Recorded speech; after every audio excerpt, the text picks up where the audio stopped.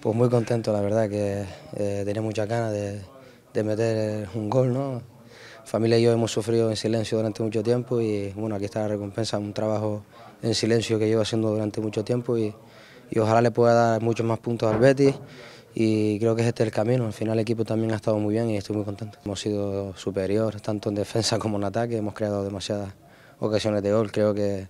el resultado debería haber sido otro, debería deberíamos de haber metido más goles, ¿no? pero al final lo importante son los tres puntos, que es muy importante para nosotros, para estar ahí arriba, con la ilusión de que, sí es verdad que, todo el mundo quiere que estemos en Europa, pero tenemos que tener eh, la cabeza bien puesta de que, que, esto es ganando partido a partido para estar ahí arriba. La verdad que la tercera ha sido la, definitiva, ¿no? Eh, he tenido una en la primera parte, como tú bien has dicho, luego la segunda se me ha quedado un poco el balón atrás porque no me la esperaba, pasó el balón entre medio de muchas piernas y, la tercera, al final, he tenido la intuición de que el portero iba a rechazar el balón porque Cristian sacó un buen disparo y, y ellos sido ido para adentro y tres puntos. Estoy muy bien, eh, físicamente estoy mucho mejor y ahora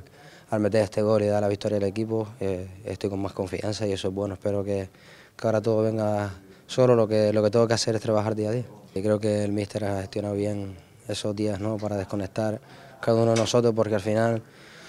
tanto como el club, la afición lo sufre, nosotros también lo sufrimos, hemos pasado por unos días difíciles para todos los dos béticos y,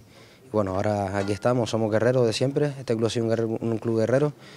y vamos a seguir luchando de partido a partido y son tres puntos muy importantes, muy especial porque al final los dos equipos que vamos a querer tener el control de la pelota, ellos tienen grandísimos jugadores, va a ser un partido bonito, pero creo que podemos tenemos opciones de sacar los tres puntos también en casa.